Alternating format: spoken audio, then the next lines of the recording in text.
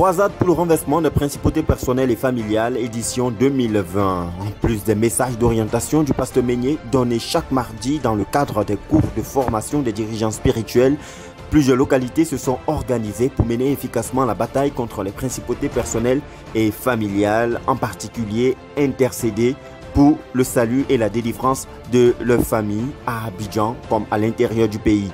Nous aurons dans cette édition un reportage des zones spirituelles de Benjerville et. La sœur Carole Babatunde, précédemment docteur en médecine générale, est depuis le 26 août 2020 spécialiste en cardiologie. Elle nous relate en exclusivité dans cette édition l'histoire de cet exploit que le Seigneur de toute science lui a permis d'accomplir.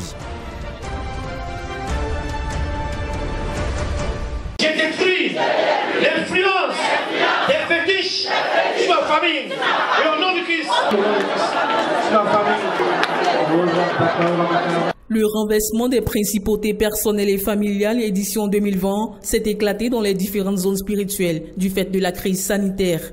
Cette croisade de délivrance et de désenvoûtement vise principalement les familles.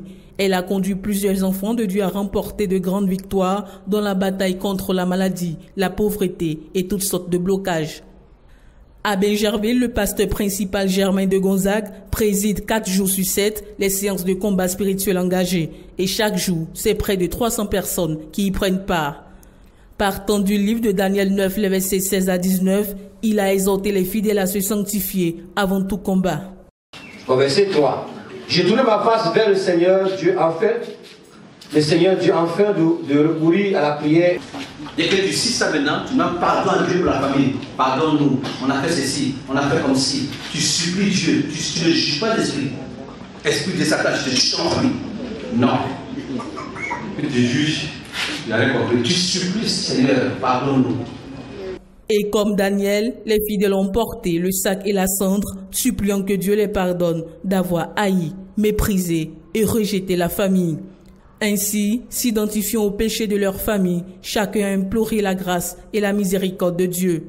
Les témoignages de délivrance ont meublé cette session de prière. Mon prière, et c'est là que je reçu tout ça. Ce n'est pas la maison, c'est ici. Tout de suite. Et puis la voix me dit que je vous ai délivré de la malédiction. Les maladies sont bonnes. Crois que les maladies sont bonnes.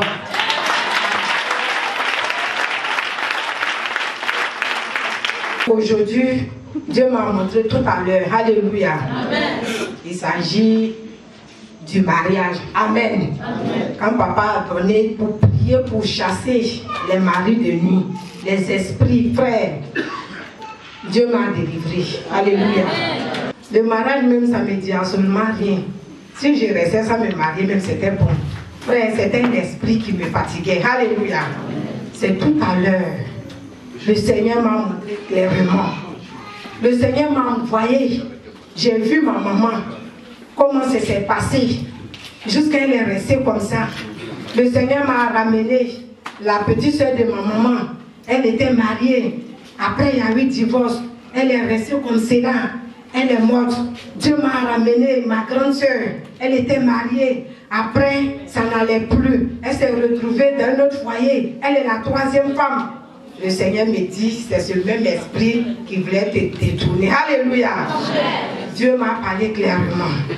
Je veux bénir le nom du Seigneur parce que j'ai reçu ma délivrance. Comme on peut le constater, rien n'a changé dans la manière de procéder au renversement des principautés personnelles et familiales, sauf le lieu. dit que lorsqu'on a appris que les renversements des principautés devaient se dérouler dans les zones, moi particulièrement, j'étais un peu déçue. J'étais un peu déçue, je me demandais est-ce que ça pourrait être comme les années précédentes? Mais ce soir, j'ai eu vraiment la réponse. Et j'ai vu que la déception était juste euh, quelque chose qui allait m'empêcher de voir les bontés de ce moment. Parce que je me suis sentie encore à jamais, rien n'a changé. Prière de, de supplication, tout s'est passé comme si nous étions encore à jamais. On ne s'est pas senti dépaysé. on a vu les mêmes choses et on a vu les mêmes résultats, les mêmes témoignages. Donc moi particulièrement, je suis heureuse de voir que tout le monde comprend maintenant les principautés, que quel que soit le lieu, nous pouvons toujours renverser les principautés. C'est vrai que la situation de cette année n'est pas pareille hein, aux années précédentes, mais Dieu se glorifie quand même, Dieu se glorifie. Les, mêmes miracles qui eh, se faisaient d'habitude continuent de se faire. En tout cas, le renversement de possibilité 2020,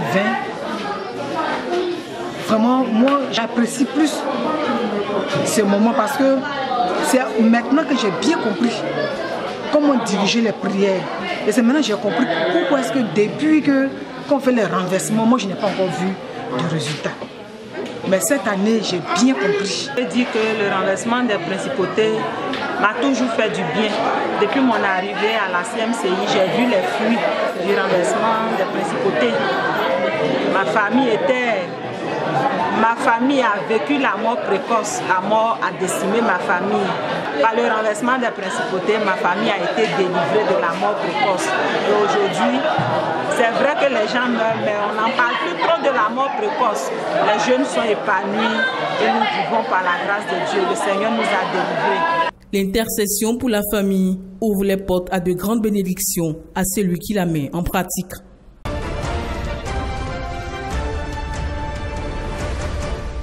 La douzième édition de la croisade pour le renversement des principautés personnelles et familiales a commencé dans le sous-centre 2 dirigé par le frère Kwasi Kwasi Paulin enregistre déjà en moyenne plus de 100 intercesseurs par jour.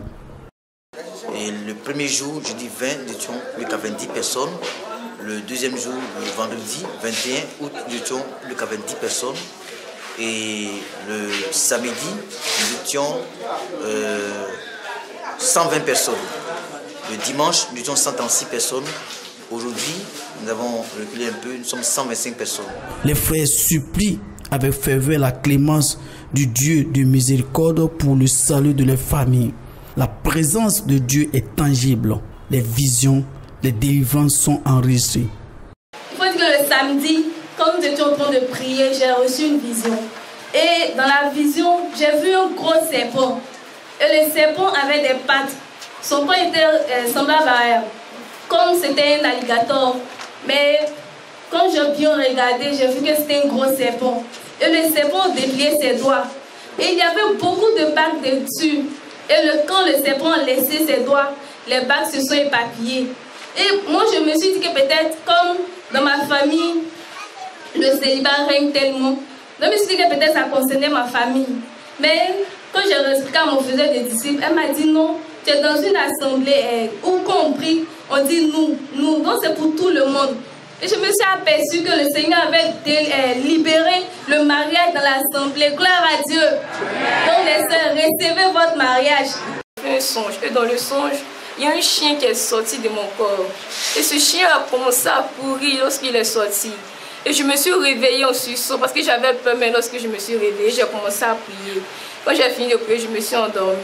Hier dimanche, j'ai parlé de ce songe à Pasteur Paulin et il m'a dit que le Seigneur venait de te délivrer, que ce chien qui est sorti de ton corps, c'est un esprit. Donc je voulais dire merci au Seigneur qui m'a délivré de cet esprit-là. Que l'honneur et la gloire lui reviennent. Au nom de Jésus-Christ. Amen.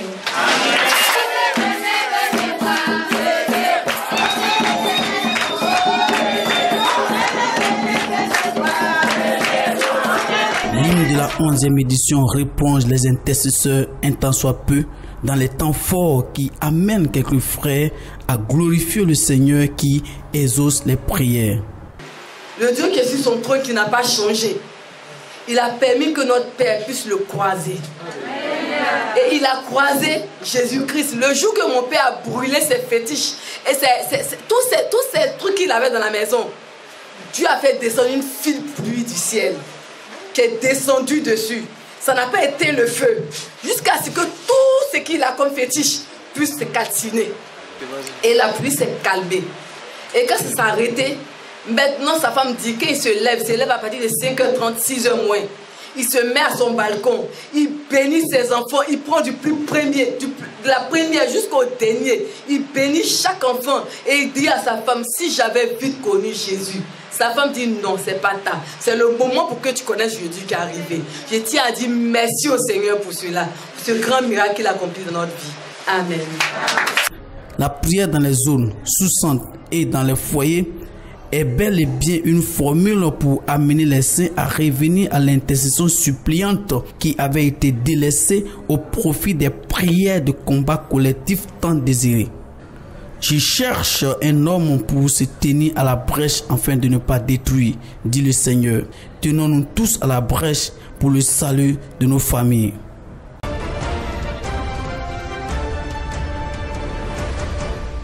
Le docteur Carole Babatunde est désormais cardiologue. Elle a obtenu son certificat d'études spéciales en maladies de cœur et de vaisseau, et ce, avec une note de 17 sur 20, avec la mention très bien et les félicitations du jury. Docteur Noni Kemi, épouse Babatunde Carole. Le jury, après en avoir délibéré, décide d'accepter votre travail de mémoire en vue de l'obtention du certificat d'études spéciales maladies du cœur et des vaisseaux. Le jury lui accorde la note de 17 sur 20 avec,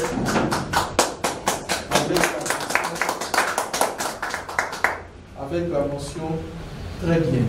Tenu dans un contexte de respect des mesures anti-Covid au sein de l'Institut de cardiologie du sud de Trècheville à Abidjan, cette soutenance a vu la présence du couple Meignet, venu soutenir le fils et ministre assistant chargé de la conquête à travers le ministère des Champs.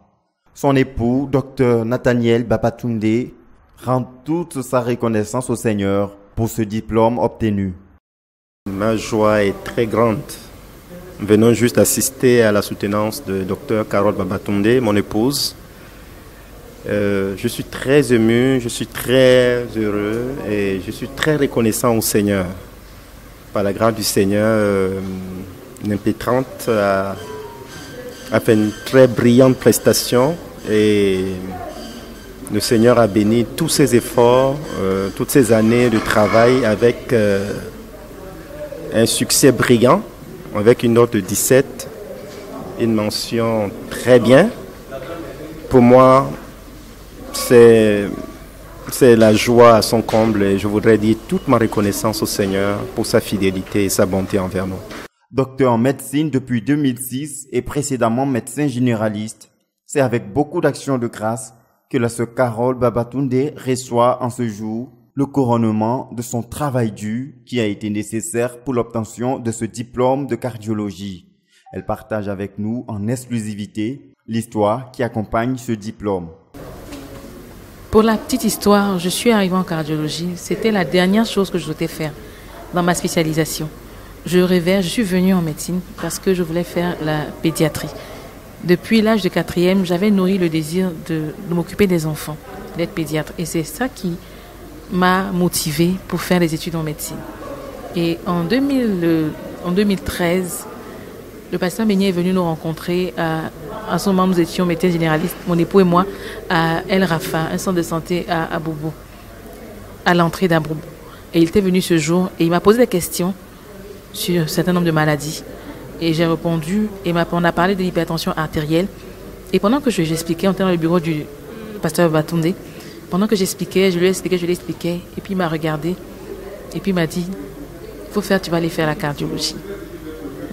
Je lui ai dit non, c'est pas possible. La cardiologie, c'est la dernière chose à laquelle j'ai pensé dans ma carrière, parce que c'était une de, une dans ma formation, ça a été le service qui est le, le pire des services que j'ai fait. Une formation bâclée, c'est trop beau. C'était, n'importe quoi. Parce qu'il n'y avait pas de service en tant que tel, comme je l'ai dit tout à l'heure. Le service était en construction, l'institut était en construction à cette époque-là, et c'était un bâtiment d'un en, dermatologie qui qui abritait les patients de la cardiologie. Donc on était laissé pour compte en tant qu'étudiant quand on venait, il n'y avait personne pour s'occuper de nous. On tournait, autour, on tournait, on tournait, et puis quand on est fatigué, on rentre à la maison. Donc j'avais rien appris pendant mon séjour. Donc ça fait que je voulais même plus parler de cardiologie.